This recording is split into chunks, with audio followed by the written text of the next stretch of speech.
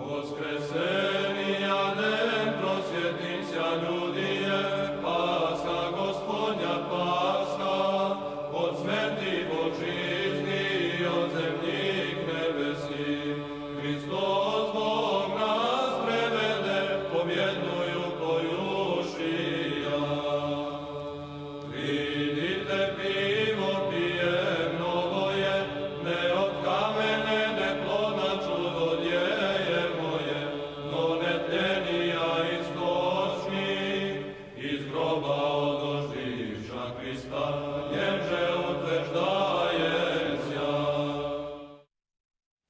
Poštovani gledalci televizije Hram, Hristos Vaskrse.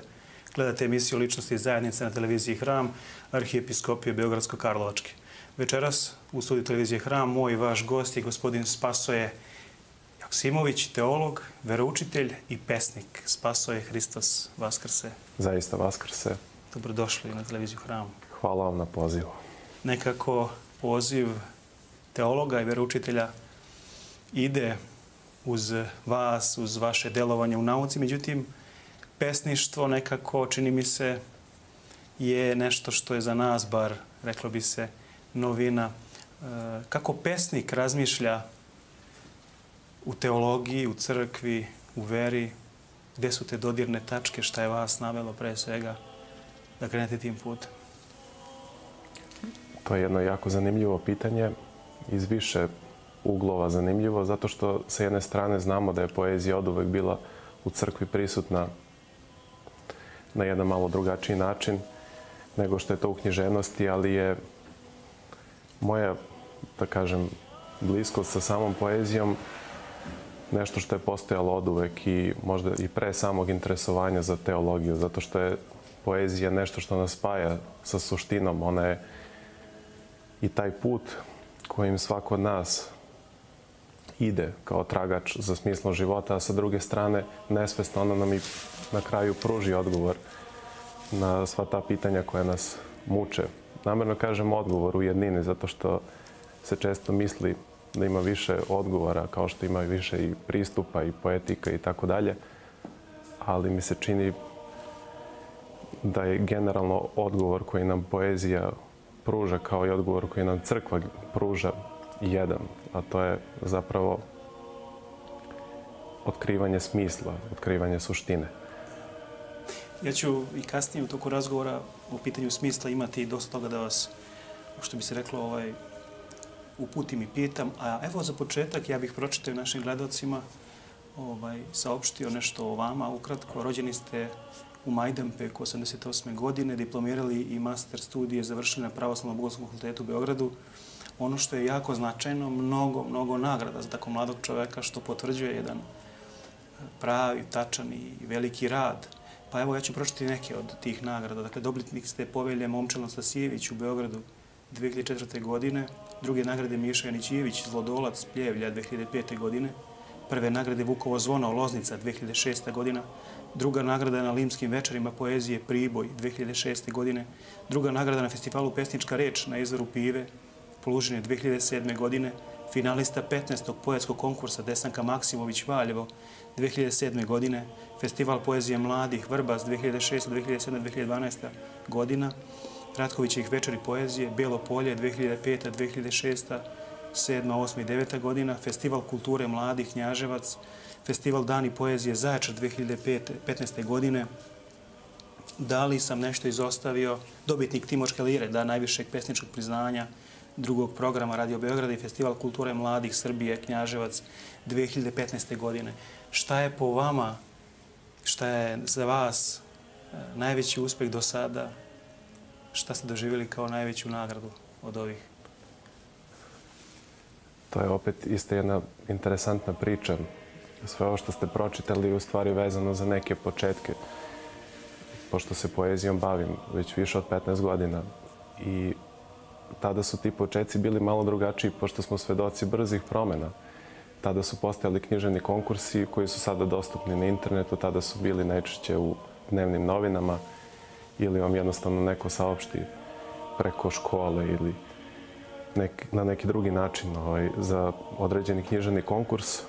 I onda sam bukvalno 15 godina slao i istrajavao u tom putu, na tom putu i dešavalo se da me pozovu kao finalistu nekog konkursa. Međutim, ona glavna stvar vezana za sve festivali i konkurse vezana je za besplatno štampanje knjige, što je u stvari nagrada tih nekada i sada značajnih festivala. I onda sam posle mnogo zapravo istrajavanja i čekanja na kraju te 2015. godine osvojio nagradu na tri različita festivala. Pomenuo bih namerno te festivale zato što se oni danas možda nalaze u jednom malo težem položaju nego na neko ranije vreme. To su festivali koji imaju tradiciju dužu od pola veka. To je festival, nekadašnji festival jugoslovenske poezije mladih u Vrbasu, festival vezan za Timočku liru u Knjaževcu i festival Pjesnička riječ na izvoru Pive, koji se jako dugo održava u Plužinama, u današnjoj Crnoj Gori, nekadašnjoj Staroj Hercegovini. A od nekih novih stvari bih istakao upravo nagradu Novica Tadić, e, zahvaljujući koje je izašla zapravo knjiga Municipijum S o kojoj ćemo danas da. govoriti. Da. Osim ove knjige o kojoj ćemo danas govoriti, Municipijum S, ja ću pročitati vaša dela do sada. To su zbirke pesama Život po suncu, e, Veče u Vitaniji i daleko od Johannesburga. Kratko, u najkraćim crtama, nešto o ovim zbirkama. Da, na prvi pogled to zvuči čudno. E, da, sam, da su izašle tri zbirke iste godine na tri različita festivala. Zapravo, one su dugo čekale priliku da izađe na svetlo znana, što je svakako dobro, zato što tokom tog dugog perioda i sazrevanja i prosto učestvovanja na književnim konkursima vi steknete uvid da li je ono što radite kvalitetno ili nije kvalitetno, na čemu treba poraditi i na kraju se taj poetski izraz kristališe, što je najbitnije. I to je na kraju to urodilo plodom, tako da se pojavile tri različite zbirke koje su generalno vezane za jednu sličnu poetiku. Malo kasnije ćemo govoriti o tome i one su upravo izašle kao nagrade na tim festivalima. Konkretno, zbirka pesama Život po suncu je izašla kao nagrada festivala u Vrbasu. Već u Vitaniji je izdao drugi program Radio Beograda i knjiga koju ste pomenuli daleko od Johannesburga je izašla, izašla u izdanju Centra za kulturu u Plužinama. Kasnije će se pojaviti i knjiga Municipiju MES kao nagrada Zavoda za proučavanje kulturnog razvitka u Beogradu i Ministarstva kulture. Tako da...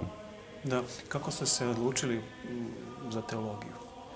Koja je, koja je, prvi, koja je prva inercija koja vas okreće ka veri, ka crkvi da upišete teološki fakultet? To je jedna isto zanimljiva tema.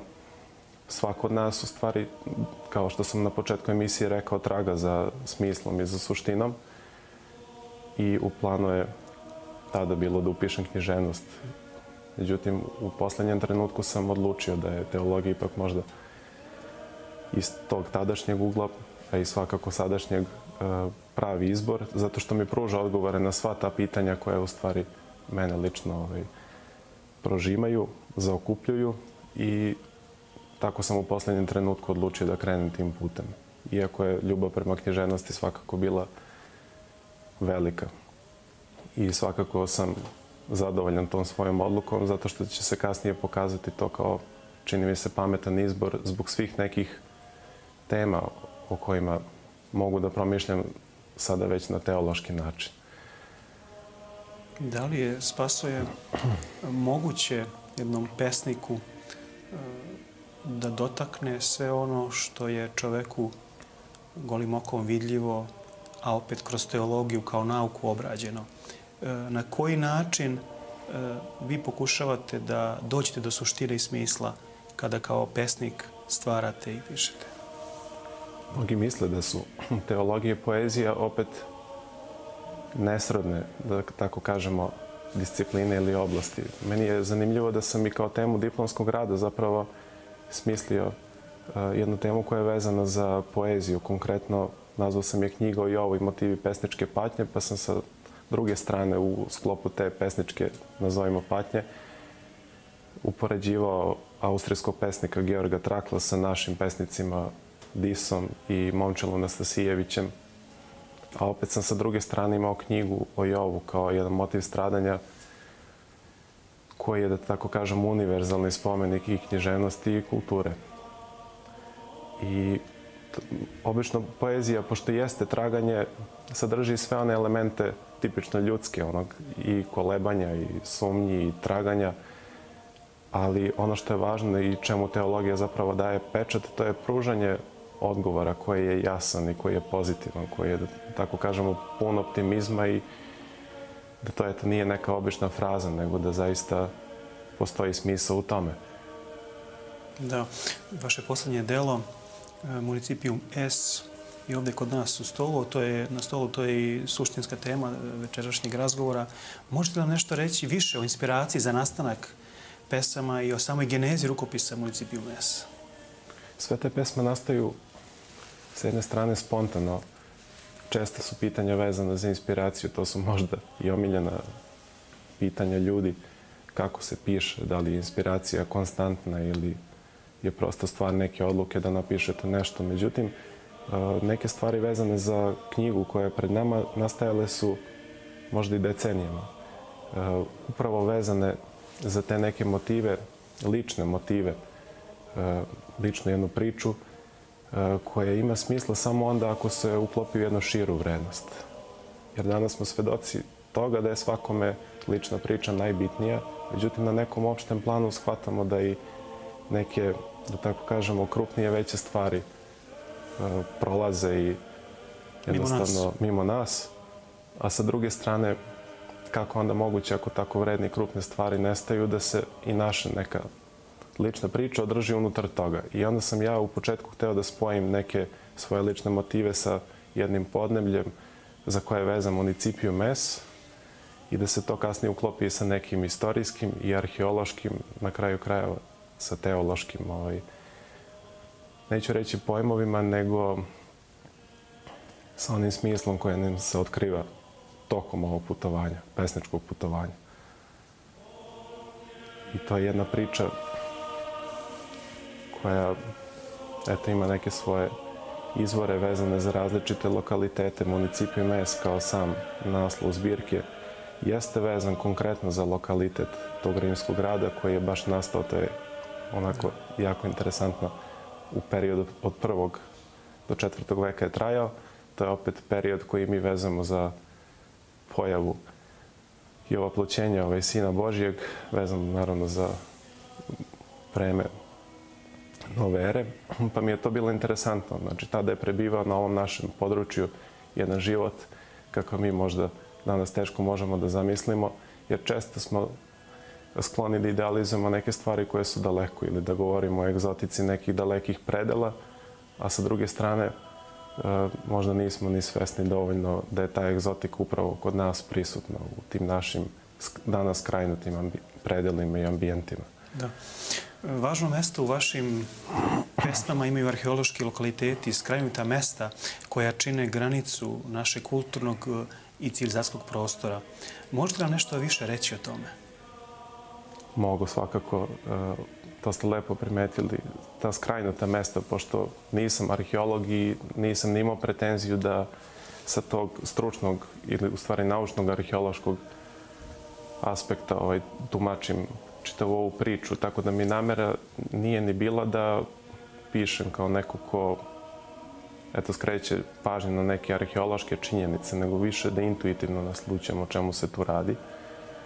Tako da u ovoj knjizi imamo spoj koji se veze za jedan preistorijski period, vezan naravno za Lepenski vir preko Vinče do eto samog municipijuma S, a u stvari sam ja te neke, kažem, lične motive spajao na tom planu.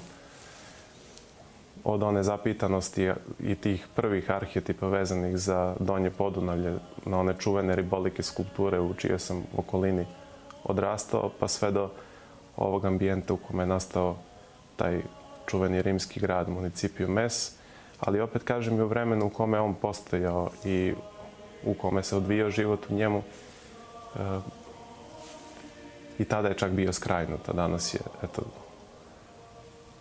prosto artefakt. Da li postoje neka simbolička značenja u municipiju Mes? Da li nam nešto možete reći o tome? svakako da postoje. E, arheolozi su govorili da ne znaju tačan naziv municipijuma S, a upravo je to meni poslužilo kao jedan motiv, e, jedna, da tako kažemo, prava inspiracija, to naslučivanje koje će biti obogaćeno davanjem jedne suštine, a i samo slovo S je po sebi lepo, može da nas upući na smisao i na spasenje, što se na kraju uklapa generalno u priču koju nam daje crkva.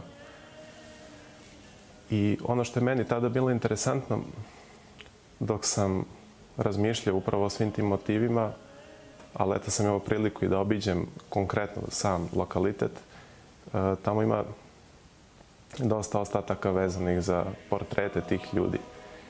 I meni ta rimska priča, iako je jako značajna, nije možda toliko interesantna koliko su mi interesantni radovi tih takozvanih domorodaca ili da. tog ilirskog stanovništva, kako nam nauka govori, ali koje sam intuitivno povezao sa, u stvari, našim ljudima koji žive na tim prostorima i jednostavno možete u likovima, kamenim likovima tih ljudi da vidite upravo i možda likove svoje prabake, pradeke ili nekih svojih dalekih srodnika.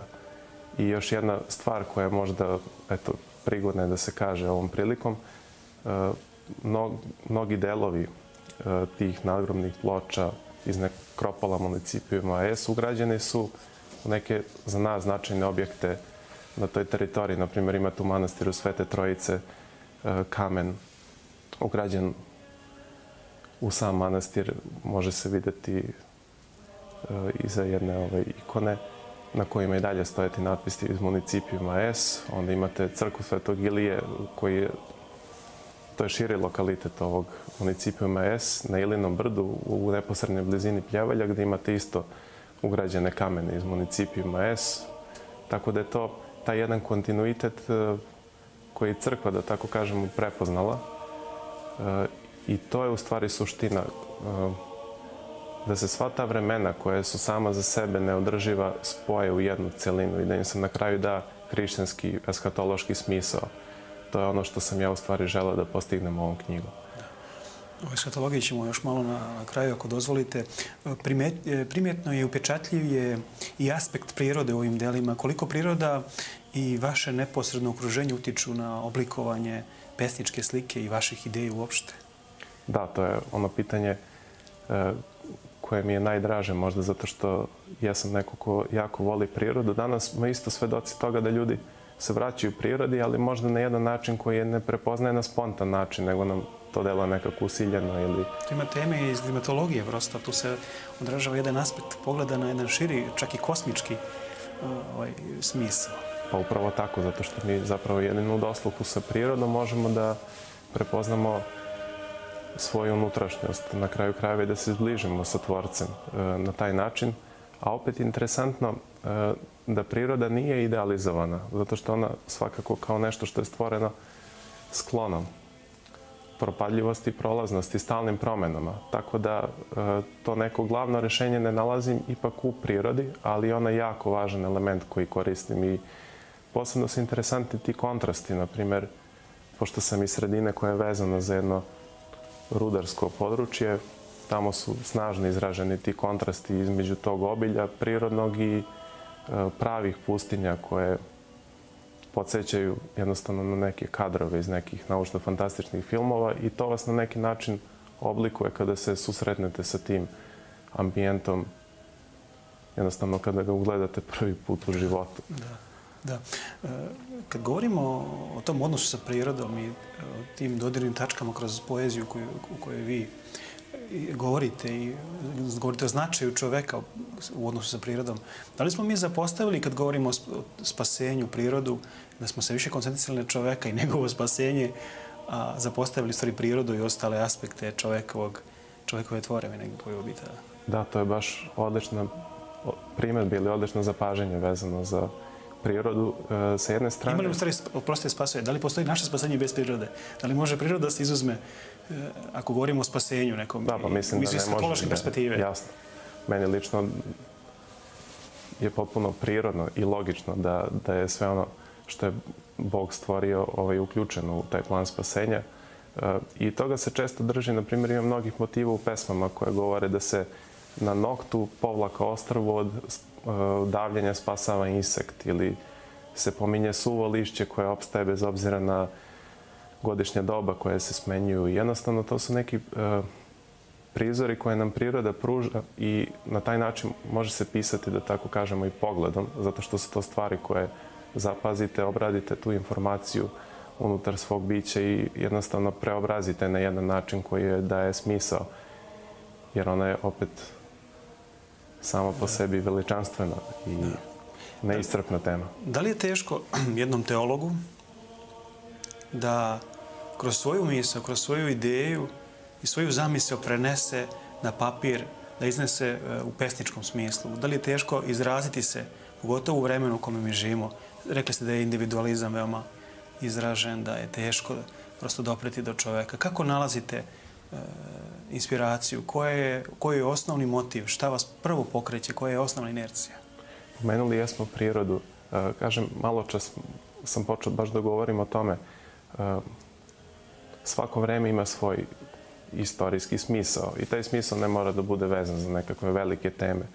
I kad smo pomenuli malo čas skrajnutost, upravo u toj skrajnutosti leži ta suština svih naših života koji možda izgledaju malo i nebitno, ali su stvari baš zahvaljujući toj svoje skrajnutosti e, možda i važni i bitni. E, davno sam se u jednom stihu do tako jedne teme e, da smisao očito postoji i da on nije isključivo vezan za nekakva beleženje ili ostavljanje tragova, pošto mi danas imamo tendenciju da sve čuvamo, zabeležimo kako ne bi prosto prošlo onda pomislimo ako nekad čovek nije imao tu mogućnost, mada je od uvek imao uh, na jedan drugačiji način, možda da ostavi trag u kamenu ili na neki drugi način, onda se pitamo da li postoji smisao tog samog života, bez beleženja tragova, bez pokušaja da se oslonimo na nešto što će nas nadživeti, nego prosto život sam po sebi, kao nešto što je smisleno i kao nešto što vredi i u ovom uh, trenutku sada i ovde i u onom u večnosti. I onda sam sva ta vremena nekako intuitivno spajao. Mi ako uporedimo, na primjer, Lepenski vir i ako uporedimo municipiju mest, to su vremenska razdoblja od praistorije do eto, početka nove ere, ogromna vremenska razdoblja koja našom logikom ne možemo ni da obuhvatimo, a sa druge strane na tom intuitivnom pesničkom planu uh, mislim da ta jedna teološka priča pruža pravi odgovor. E, I u tom smislu su, da tako kažemo, te eskotološke pesme vezane za tu jednu pozitivnu završnicu, jednu optimističku, optimističnu završnicu u kojoj se e, daje ne samo nada, nego jednostavno ostvarenje svakog od tih vremena. I postoji jedan o, iz tih, u jednoj od tih zbirki koje smo pomenuli, da je rešenje jedino Hristos, za koga se kaže da je uvek isti. Da. Spasoje, ako bih vas pitao sada uh, jednim rečnikom ili shvatanjem jednog vernika koji možda ne razume šta to znači eskatologija, kako da mu pojasnimo pesničkim izrazom šta je to eskatologija iz perspektive recimo ovog dela Municipiju Mes. Kako da on to razume? Da, to je baš dobro pitanje. Uh, zanimljivo je da se ja nisam trudio da koristim često teološke termine. Možda je to eskaton nešto što sam možda najčešće koristio u zbirci. E, zato što mi je cilj da do nekih e, važnih dogmatskih istina e, koje se stiču samim životnim uvidom dođem jednim izrazom koji je ličan. Da jednostavno na jedan novi način dođem do tog starog, a opet i novog mesta koje je vezano za, za suštinu svega. I tako sam se trudio da u ovom uh, smislu objedinim neke stvari koje su vezane eto, za taj lični aspekt pesnički, uh, sa svim tim zapitanostima vezani za prolaznost svih vremena, svih nekih, eto da kažemo, i ličnih uh, stvari. I da na kraju u tom smislu taj optimizam pobedi kao jednostavno nebo koji je čest motiv, ali ne u smislu nekog nedostupnog prostora, nego u smislu dnevne sobe koja nam je bliska, koju koristimo svakodnevno. Dakle, da se i svet i nebo tumače kao jedan lični prostor, jedna naša lična zona koja nije nešto što je utopijsko daleko, nego nešto što provejava iz svačijeg života. Da. Pa se može li poezija u stvari da bude, pisanje poezije da bude blagodarnost tvorcu za sve? Apsolutno može i to i jeste blagodarnost tvorcu. Opet kažem, možda i više u onom trenutku kada se trudite ne namerno, nego kada taj izraz dolazi spontano i kada se ne oslanja na nešto postojeće u smislu izraza, ali se oslanja na čitavu ovaj, tradiciju i kontinuitet hrišćanske ovaj, priče vezano za samu suštinu poezije, za samu suštinu tih stihova koji tu postoje. Ako je, na primjer, veru u vaskrsenje nešto što je nama najznačajnije, onda će taj motiv vaskrsenja da se provlači kroz sve te i utopijske i realne motive u pesmama, ali će biti kao nešto što je proživljeno na ličnom planu. Neko rešenje koje se nudi, ali iskustveno. Da. Jeste zabrinuti kao mlad čovjek, kao teolog, kako se današnji čovjek, savremeni, mi sami, odnosimo prema prirodi, prema... Svako od nas je, ako realno pogledamo, zapitan na tim pitanjima. Međutim, e, možda je modern čovjek sklon često e, i da kritikuje mnoge stvari. Često čujemo kritike kako nam neke stvari ne odgovaraju ili ne valjaju i to je potpuno legitimno i jeste da mnogi ljudi ne greše ovaj, kad kritikuju uh, mnogo toga. A sa druge strane, mislim da je možda više nego ikad modernom čoveku potrebna neka vrsta utehe vezane upravo za te odgovore koje nam pružaju ta stara vremena. Naveo sam u jednom stihu da su nekada stvari bile moderne, a tople. Danas imamo prosto hladnoću tih modernih stvari. Ne znam, uzmite prosto dizajn jednog automobila ili modernog grada ili bilo čega, one ne ulivaju tu neku vrstu topline. A sa druge strane, neka smo imali neke zaista moderne stvari vezane za neka vremena, čije su vrednosti opet skoro pa neprolazne. Tu se vraćam na onu priču o e, zapitanosti onih lepenskih figura. To je ona večita zapitanost prosto da. jednog pogleda. Da. Otkuda hladnoće kod današnjeg čoveka u njegovom srcu? Zašto su hladna srca? Zbog čega smo se tako postavili i zašto se odnosimo tako jedan prema drugom i uopšte prema prirodi, prema realnosti? Prema... Opet meni je dragoceno nekako da po znacima navoda obrađujem sobstveni vrt e, i da se ne udubljujem previše u te neke opšte teme koje bi nudile konkretna rešenja. E, moje, eto da tako kažemo, e, cilj da ta svoja promišljenja pretočim u jednu zbirku pesama, na primjer, i da na taj jedan subtilan i spontan način pokušam da dam odgovor, jer je to opet pitanje ljudske slobode. To je jako široka tema.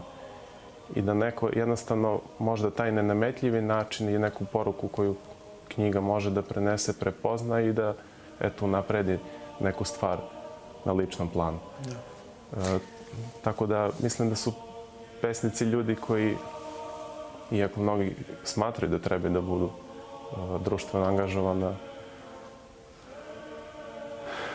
da su ljudi koji jednostavno trebaju da obrađuju svoj vrt, po znacima navoda opet kažem, a možda i zaista stvarni vrt, e, i da preobražujući sebe upravo svedoče taj preobražaj, a kasnije će se mnoge stvari samim tim menjati i oko njih. Da. Spasuje, za kraj našeg razgovora, recite mi, molim vas, kako je po vašem mišljenju vreme danas za mlade pesnike, za autore, za stvaravce u tom pogledu? Da, mnogi danas govore da je poezija u zapećku i kako nije prihvaćena. Međutim, E, ipak moje iskustvo svedoči da danas ima zaista dosta mogućnosti da mlad čovek dođe do e, eto, svoje prve knjige, zato što postoje konkursi, knjiženi konkursi koji su jako značajni i koji vam samim tim učestvovanjem omogućuju da se nađete u jednoj priči e, koja je ozbiljna, koja može da prepoznaje to vaše neke pesničke uvide, vašu poetiku i da, da iznedrite jednostavno nešto o čemu ste razmišljali, sanjali, pisali. E, tako da prosto veće su mogućnosti danas. Sa druge strane, opet postoji ta hiperprodukcija čiji smo svedoci, mada ona ne mora biti nužno loša, jer e, čovjek će uvek pronaći nešto i unutar tog možda i haosa i unutar ogromne ponude, nešto što je njemu blisko na ličnom planu. Da. Molim vas, recite mi za kraj našeg razgovora, kad završite jedno delo, kad ta knjiga se pojavi pred čitacima, pred publikom, šta osjećate, kakav je to osjećaj? Dobra, neobičan je osjećaj, e, zato što knjiga svakako nastavlja neki svoj put, a sa druge strane e, neobičan je u tom smislu što nikada ne možete znati kako će biti tumačenje i doživljaj. E, ne u smislu neke jasne prosto kritike, nego u smislu mogućnosti da se ono što ste vi osetili, napisali na taj identičan način prenese u sve. O tome sam nekog... upravo htio da vas pitam. Dakle, taj osjećaj, da li, ste, da li ste zadovoljni? Da li je ta žeđ i ta, ta glas za tim stvaranjem i za tim otvorenošću to prema narodu, da li je a, postignuta ili se u stvari javi još veća želja za, za još novim? Uvek se javlja, naravno, veća želja, jer je stvaralaštvo jedan dinamičan, tako kažemo, večan proces.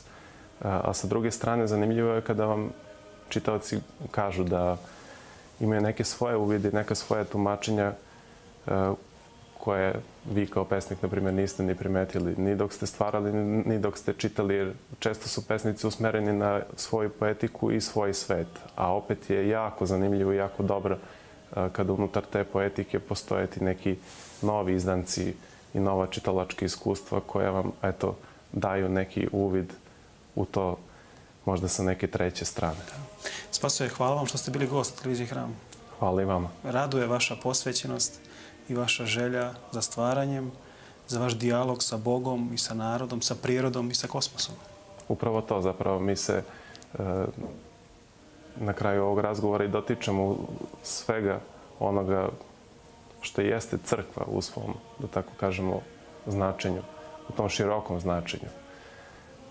Tako da svako od nas kao ličnosti jeste na tom putu da prosto iskoristi svoje darove i da jednostavno odgovori pozitivno na taj stvaralački proces koji jeste neprestan i u tome i jeste u stvari čar svega ovoga. Hvala vam spaso i da nam brzo dođe gospod. Hvala vama još jednom. Hristos Vaskrse. Zaista Vaskrse. Poštovani gledalci, hvala i vama na pažnji. Do sledeće subote. Svako dobro vam želimo. Outra é